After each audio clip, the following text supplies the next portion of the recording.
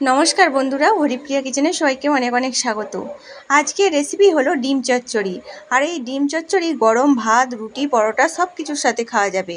ডিম চচ্চড়ি বানাতে কড়াইয়ের মধ্যে প্রথমে দুই চামচ পরিমাণ সর্ষের তেল দিলাম। এরপর এই তেলের মধ্যে হাফ চামচ পরিমাণ পাঁচ ফোড়ন দিতে হবে।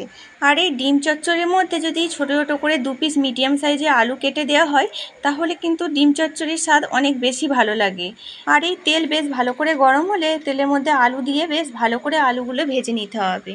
এরপরেই তেলের মধ্যে আলুগুলো বেশ ভালো করে ভাজা হলে একটা মিডিয়াম সাইজে ছোটো ছোটো পেঁয়াজ কুচি দিয়ে আলুর সাথে খুব ভালো করে ভেজে নেব। আর এই আলু পেঁয়াজগুলো বেশ ভালো করে ভাজা হয়ে গেলে এই আলু পেঁয়াজের মধ্যে এক চামচ পরিমাণ আদা জিরে বাটা দিয়ে দিচ্ছি। আর হাফ চামচ পরিমাণ পিষে নেওয়া রসুন। এরপর এর মধ্যে হাফ চামচ পরিমাণ হলুদের গুঁড়ো, হাফ চামচ পরিমাণ লঙ্কার গুঁড়ো আর স্বাদ অনুযায়ী লবণ দিতে হবে। এরপর এর মধ্যে দু পিস পরিমাণ কাঁচা লঙ্কা ফালি করা। এরপর এইসব মশলা বেশ ভালো করে আলু পেঁয়াজের সাথে মিশিয়ে নেব। এখন এই মশলা উপকরণগুলো বেশ ভালো করে আলু পেঁয়াজের সাথে মিশিয়ে কষে নেওয়া হয়ে গেছে।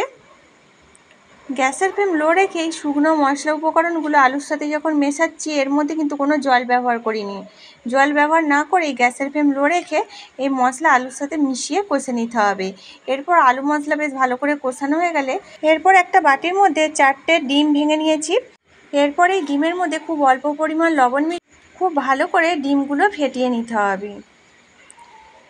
এরপর এই ডিম ফেটানো হয়ে গেলে এই কষে নিয়ে আলুর মধ্যে ফেটানো ডিম দিয়ে বেশ ভালো এই ডিমও বেশ ভালো করে আলুর সাথে মিশিয়ে কষে নিতে হবে। যখন হাতে খুব কম সময় থাকে, তখন গরম ভাতের সাথে খাওয়ার জন্য এই ধরনের ডিম চচ্চড়ি থাকলে আর গরম ভাতের সাথে কিছুই লাগবে না।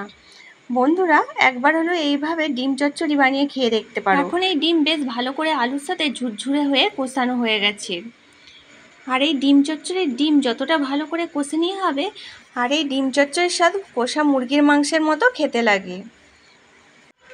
এখন এই ডিম বেশ ভালো করে কষানো হয়ে গেছে। এরপর এর মধ্যে মশলা বাটি জল দিয়ে খুব ভালো করে মিশিয়ে নিতে হবে।